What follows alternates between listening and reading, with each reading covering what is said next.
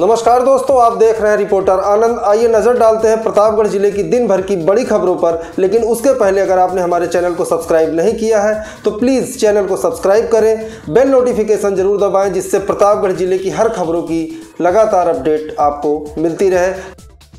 दिन भर की बड़ी खबरों की शुरुआत करते हैं कुंडा से, जहाँ जिला स्तरीय संपूर्ण समाधान दिवस में पहुँचे डीएम डॉक्टर नितिन बंसल की ताबड़तोड़ कार्रवाई से हड़कम मच गया। लोगों की समस्याएँ सुनने के दौरान बिहार विकास खंड के बारह गाँव निवासी शिव प्रसाद सरोज ने शिकायती पत्र देते हुए बताया कि हल्का लेखपाल अशोक जायसवाल ने उनका आयु प्रमाण पत्र अलग अलग तिथि में जारी किया था। जिस पर डीएम ने लेखपाल को निलंबित करने का आदेश देते हुए तहसीलदार से स्पष्टीकरण मांगा है। वहीं कुंडा के जमेठी गाँव निवासी राजकुमार सरोज ने शिकायती पत्र देते हुए बताया कि वर्ष 2015 में उनकी माँ का निधन हो गया था। ज़मीन वरासत के लिए लेखपाल को कहा गया, लेकिन अभी तक ज़मीन का वरासत नहीं हो सका। यही नहीं, वरासत के नाम पर हल्का लेखपाल पैसे की मांग करता है, जिस पर डीएम ने लेखपाल कृपा शंकर मिश्र के खिलाफ भी निलंबन की कार्रवाई का आदेश दिया। इसके इसके बाद बिहार विकास खंड के सराय बबुइन काशीपुर गाँव निवासी धर्मेंद्र कुमार मिश्र ने शिकायत करते हुए बताया कि उनके बाबा राधे श्याम की मृत्यु हो चुकी है।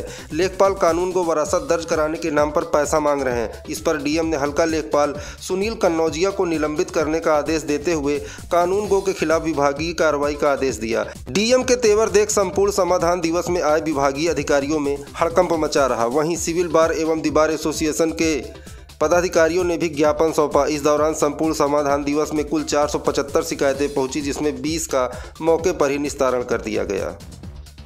अगली खबर नवाबगंज थाना क्षेत्र से है, जहाँ मारपीट का एक वीडियो सोशल मीडिया पर वायरल हो गया। बता दें, मानिकपुर थाना क्षेत्र के कांची पट्टी गाँव के रहने वाले दिलसाद अहमद का अपने भाइयों से जमीनी विवाद चल रहा है। आज दिलसाद अहमद, पुत्र नूर मोहम्मद, अपनी पत्नी और बच्चों के साथ नवाबगंज थाना क्षेत्र के बिबियापुर गाँव में अपनी आम की बाग की देख के लिए गए थे, जहाँ पहले से घात लगाए बैठे उनके दबंग भाइयों ने लाठी डंडे से उन पर हमला कर दिया।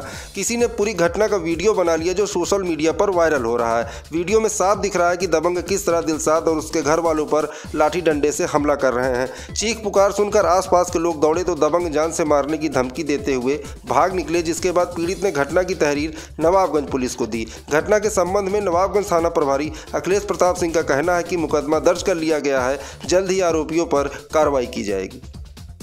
अगली खबर, महेशगंज थाना क्षेत्र के माँ नायर देवी धाम से है, जहाँ बीते 30 जनवरी की रात नकाब पोस्ट चोरों ने मंदिर में लगे एक दर्जन पीतल के घंटे काट लिए। इसके पहले भी मंदिर से घंटा चोरी की वारदात हो चुकी है। मंदिर परिसर में लगे सीसीटीवी कैमरे में नकाब पोस्ट चोर घंटा खोलते साफ़ देखे जा रहे हैं। मंदिर प्रबंध समिति के सदस्य पंकज सिंह ने सीसीटीवी फुटेज निकलवाने के बाद पुलिस को मामले की तहरीर दी है। पुलिस मामले की जाँच कर कार्रवाई किए जाने की बात कर रही है। अगली खबर, कालाकाकर विकास क्षेत्र से है, जहाँ परियावा गाँव की गरीब विधवा महिला फूलमती पत्नी स्वर्गीय जगदीश पंडा को प्रधानमंत्री आवास योजना के तहत एक आवास मिला। पीड़ित महिला ने आरोप लगाया है कि चालीस हज़ार की पहली किस्त आते ही प्रधानपति अपने चमचों के साथ उसके घर पहुँचा और बीस हज़ार रुपयों की मांग की। गरीब महिला ने जब पैसे देने से मना किया तो प्रधानपति ने धमकाते हुए कहा कि अगर पैसे नहीं दोगी तो ज़िंदगी भर इसी कच्चे मकान में रहोगी। गरीब विधवा महिला ने प्रधान की दबंगई से डर कर किसी अधिकारी से शिकायत नहीं की। मीडिया से वृद्ध महिला ने आप बीती सुनाई है। अब देखना है कि विकास विभाग और पुलिस प्रशासन योगी सरकार के अरमानों पर पलीता लगाने वाले इस प्रधान पर क्या कार्रवाई करते हैं। या फिर गरीबों के शोषण का नंगा नाच ऐसे ही चलता रहेगा।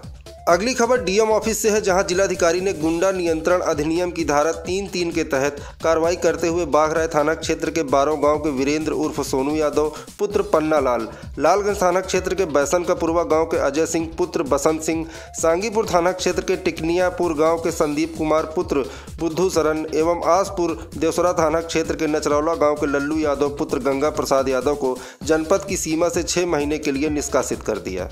आज के लिए बस इतना ही। कल फिर मिलेंगे प्रतापगढ़ ज़िले की दिन भर की बड़ी खबरों के साथ। तब तक के लिए नमस्कार।